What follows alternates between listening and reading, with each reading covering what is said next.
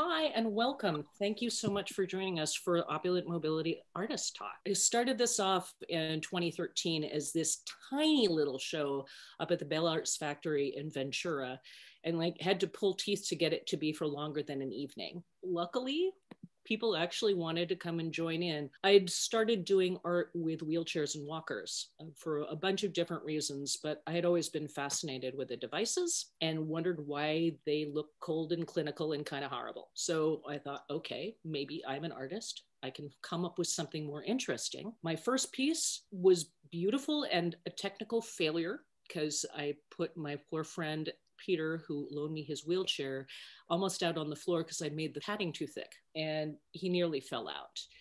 And I learned how much more I needed to know, and that I'm not a medical device designer. But I knew that this was an idea that might need to at least be addressed and that maybe somebody else would be interested. So I started inviting other artists.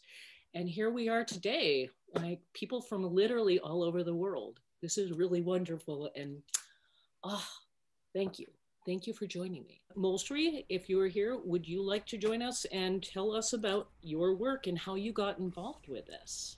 Molshree Jain, Opulent Prosthesis, Digital Art, 1000 by 1000 pixels, 2020. On a stark black background, two salmon pink stylized symmetrical flowers occupy the left and lower right of the work. A bare upper arm is in the upper right, the forearm is a silver prosthesis etched with fine lace like floral patterns. The articulated fingers have long, pale pink nails and pink knuckles and tendons. Hi, everyone. So first of all, thank you, Laura, for organizing this, uh, you know, beautiful talk. I'll quickly talk a little bit about my art practice first before coming on to how I got involved with this. My work experience and all of my education is in the banking and finance sector. And uh, about five years ago, I finished my MBA, post which I started working. But obviously, I think at heart, I was always a creative. So I never could really fit into that corporate lifestyle. And about a year and a half ago, I just decided to you know kind of take that plunge full time i left my job and i just um, focused on learning so i'm I'm a self taught artist, and of course, I have a lot of catching up to do. But uh, currently, I'm experimenting with uh, digital canvas primarily and murals. So, my art, I would say, is uh, focused in spiritual themes and psychedelia.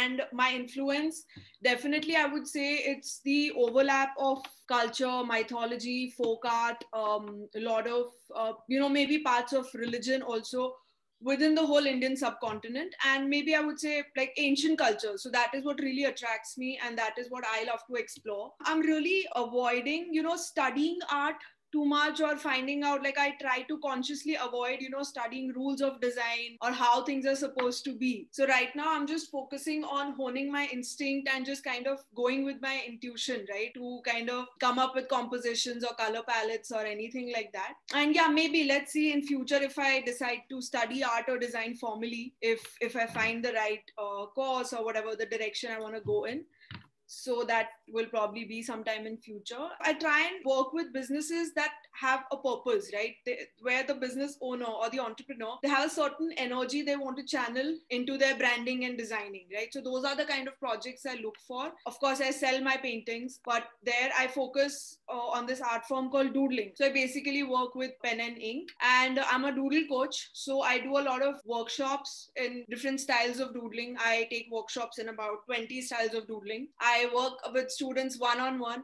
And uh, this whole pandemic kind of, you know, came like a blessing in disguise because I got to virtually connect with so many people, which I don't think might have been possible in a regular scenario. I work with a lot of musicians to design their album covers, then authors for their book covers. And I am hoping that by next year, I can, I'm trying to develop a product range with my own designs, you know, focused on the aspects that I talked about. So I'm also a telepathic animal communicator, right? Animal and uh, nature communicator. I got certified about a year ago again, and that really just opened up my eyes to, you know, a world that I didn't know existed. So animals and, you know, landscapes and plants, they have such deep, distinct personalities. So that also influences me and my artwork, and I'm trying to kind of present that visually. So a lot of my artwork is uh, centered on botanical themes and animals, of course. And then opulent mobility, I think I was just searching this website called Art Connect one day, uh, looking for some mm. open calls I could, you know, participate in because I just kind of wanted to connect with the global art community and just, you know, understand because it's all super new to me. Coincidentally, this art piece, I kind of had this idea in my mind for a while now, like maybe two years, because around that time, I, whenever we have any celebrations, which could be like a marriage, engagement, or uh, festivals like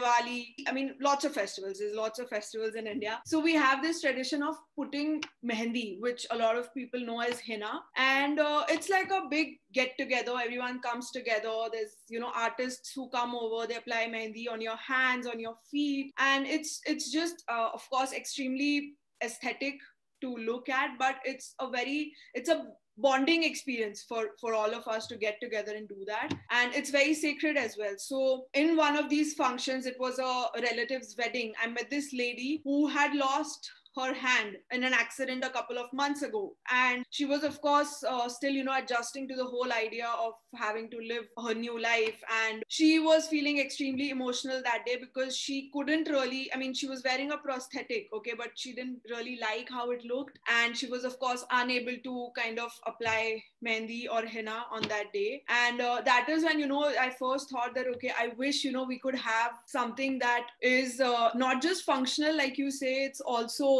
you know luxurious and makes you feel good about uh, you know being the way you are. So that is where i think the seed was in my head. And then when i read the brief for opulent mobility i was like wow this is where i need to put it on paper and see you know how it works. And i hadn't really taken part in an open call earlier. So i was extremely happy to you know get selected. It was a very proud moment of course. So yeah that was the idea. And yeah i hope that somebody someday is able to make this into a reality also. And we can have these really you know beautiful looking prosthetics that kind of uh, celebrate being how we are and you know not really focus focus on how one should be. Thank you so much. I really, really appreciate you joining us. Thank you.